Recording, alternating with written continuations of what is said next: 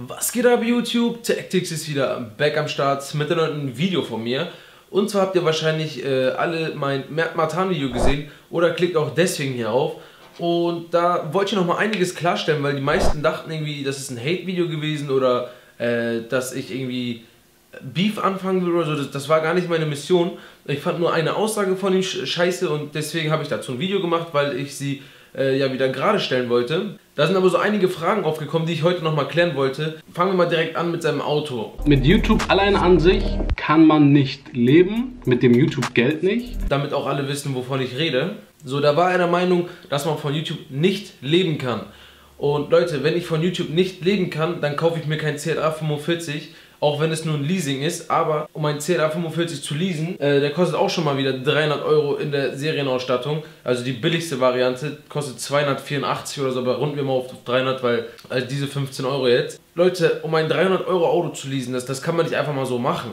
So, manche Leute verdienen auch selber nur 300 Euro im Monat oder ja, ich glaube Hartz IV ist 320 oder so, 300, weiß ich nicht, ich habe es letztens bei Arno Dübel gesehen, Krasser Typ auf jeden Fall. Genau, erstmal, wenn ich wirklich von YouTube nicht leben kann, dann kaufe ich mir keinen CLA 45 AMG auf Leasing, auch wenn es nur als Firmenfahrzeug angemeldet ist, aber ich hoffe, ihr versteht, was ich meine. Dann kommen wir mal zum nächsten. In einem Video von ihm, in den letzten Videos, habe ich eine Sache gesehen, die wirklich echt unkorrekt ist. Also, da hat irgendjemand seinen äh, Wagen zerkratzt mit einem Schlüssel oder so. Also Leute, das sind echt die größten Bastarde, die das gemacht haben, muss ich ehrlich sagen, weil so etwas zu machen ist echt behindert so. Das gehört sich echt nicht, auch wenn man die Typen vielleicht nicht mag oder so, aber Dinge zu beschädigen, die ihm gehören, ist, das gehört sich einfach nicht. Aber was ich echt komisch fand ist, äh, ich blende das hier mal ein, ähm, Experiment 1000 Grad Schlüssel an deinem Auto oder ja an dein Auto. Ich weiß nicht, was ich davon halten soll. Es kann natürlich wahr sein. Ich will jetzt auch nicht äh, falsch reden oder, oder schlecht reden, aber Leute, jetzt mal im Ernst, ganz komisch, gerade wo das im Trend ist, kommt dann genau sowas an seinem Auto. Ich finde es echt komisch. Ähm, ich muss ehrlich dazu sagen, ich, war, ich bin Abo Abonnent von Matt Matan, sonst würde ich diese Videos gar nicht sehen. Das heißt, ich schaue seine Videos selber. Deswegen verstehe ich auch nicht, warum manche sagen, ich hate ihn oder, oder will Beef mit ihm. Stimmt gar nicht, ich habe ihm sogar privat geschrieben. Ähm, ja, mal gucken, ob noch eine Antwort kommt, ich weiß es nicht. Auf jeden Fall haben inzwischen dieses Video 40.000 Leute gesehen krass. Auf jeden Fall Dankeschön nochmal an die, die mich deswegen abonniert haben. Aber wie gesagt, dieses 1000 Grad Schlüssel an dein Auto, an dein Auto auch noch falsch geschrieben, aber, aber ist ja scheißegal. Finde ich komisch. Ich glaube nicht, dass das Ganze wahr ist, aber das ist jetzt nur eine Vermutung. Ich habe ja jetzt keine Fakten oder sonst was, leider. Aber ich finde es echt extrem komisch, dass es jetzt gerade, wo es im Trend ist mit dem 1000 Grad heißen Messer oder 1000 Grad Samurai oder so, und dann kommt das an seinem Wagen ist komisch, aber kann ich nichts weiter dazu sagen. Äh, dann kommen wir mal zu Kommentaren, Leute. Da schreibt einer, man darf doch sagen, wie viel man verdient, oder? Alle YouTuber sagen es einfach nur nicht. Mach, macht man sonst im Beruf ja auch nicht. Das stimmt, das ist eine Sache, die da habe ich mir sogar nochmal Notizen aufgeschrieben. Was viele immer denken, ist, dass man seine, seine Einnahmen nicht veröffentlichen darf.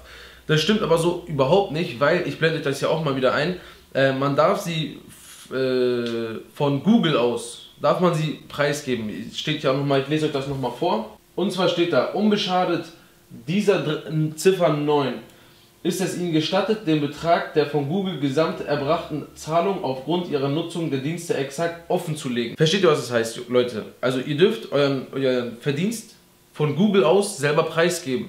Nur die meisten YouTuber wissen es entweder gar nicht, dass man das nicht sagen darf, oder möchten es nicht sagen. Das kann ich auch verstehen, weil vielleicht Hate aufkommt oder ähm, Leute neidisch werden. Das ist ja alles völlig legitim, Leute. Ich sage ja auch nicht, dass er das machen soll oder muss. Mir war es einfach nur so, ähm, zu sagen, dass man davon nicht leben kann.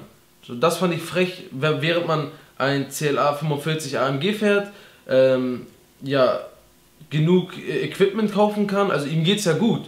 So, im neuesten Video habe ich sogar gesehen, die sind jetzt zusammengezogen, weil da hat auch noch einer in die Kommentare geschrieben, den lese ich jetzt auch nochmal vor. Genau, hier schreibt ein Burak Jilic, Du vergisst die Steuern, die Miete, die er zahlt, Internet und so weiter.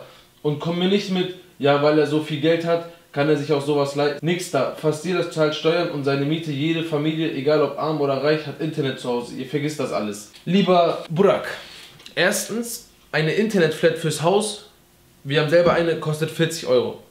40 Euro und ich habe eine 50.000er Leitung. 40 Euro. Zweitens, Miete hat er bis vor kurzem gar nicht gezahlt, weil er bei seinen Eltern gewohnt hat. Das wissen die meisten. Seit dem neuesten Video wohnt er erst bei seiner oder mit seiner Freundin in einer gemeinsamen Wohnung. Da wusste ich das noch gar nicht. Da war dieses Video schon längst draußen. Das Video habe ich vor einem Monat gemacht. Zweitens, die Steuern. Die Steuern habe ich so oft gelesen. Also es hieß immer, ja, du vergisst die Steuern, du vergisst die Steuern.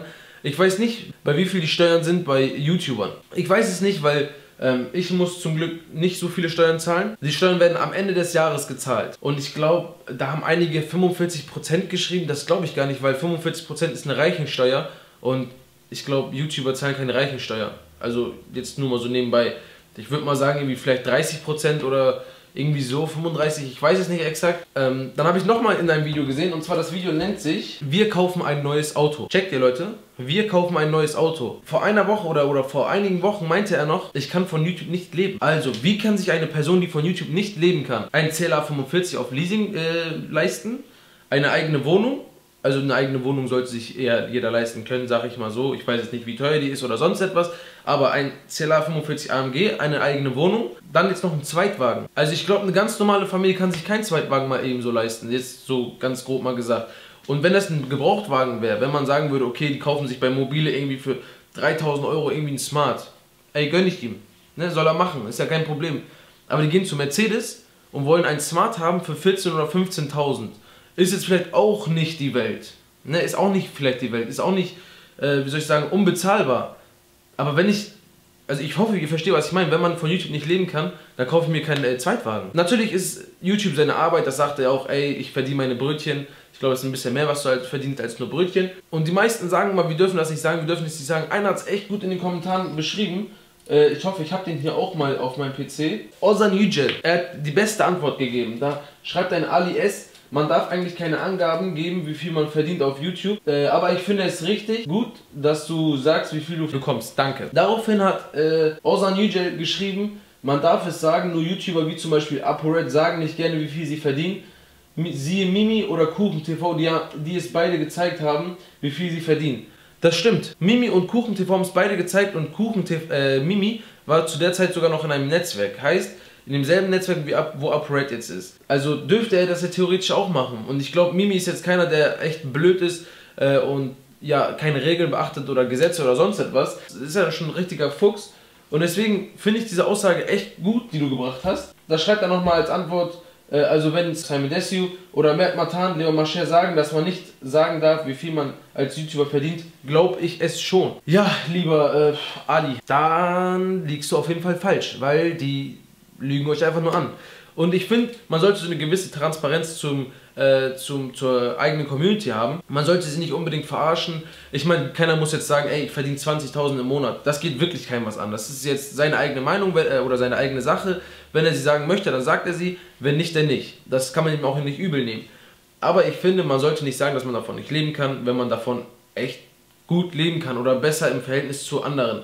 Er sagt ja auch, bestes Beispiel, äh, er sagt ja auch, ich kann nichts, in einem Video sagt Matt Matan, ich kann nichts dafür, dass ich mehr verdiene als ein Bauarbeiter. Bauarbeiter zum Beispiel acht Stunden draußen in der Kälte schuften muss, aber ich kann doch nichts dafür, dass ich irgendwie mehr verdiene als ein Bauarbeiter. Und, und ich gehe jetzt mal davon aus, dass ein Bauarbeiter so im Durchschnitt, ich weiß jetzt nicht unbedingt, wie, wie viel die verdienen, aber ich glaube mal so 3000 Euro netto. Ne, wenn die jetzt, also 3000 Euro netto ist vielleicht sogar zu wenig, ich kenne mich da jetzt wirklich nicht aus, Leute, ich bin noch nicht in der Arbeitswelt.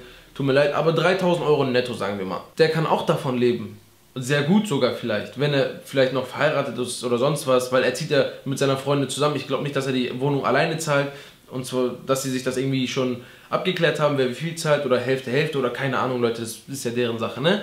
Aber wenn ein Bauarbeiter mit 3000 Euro gut leben kann, wie kann er mit Matan nicht gut leben, wenn er selber sagt, ich verdiene mehr als ein Bauarbeiter? Versteht ihr, was ich meine? Weil viele sagen ja auch, ey, der verdient gar nicht so viel oder ist doch seine Sache, wenn er so viel verdient.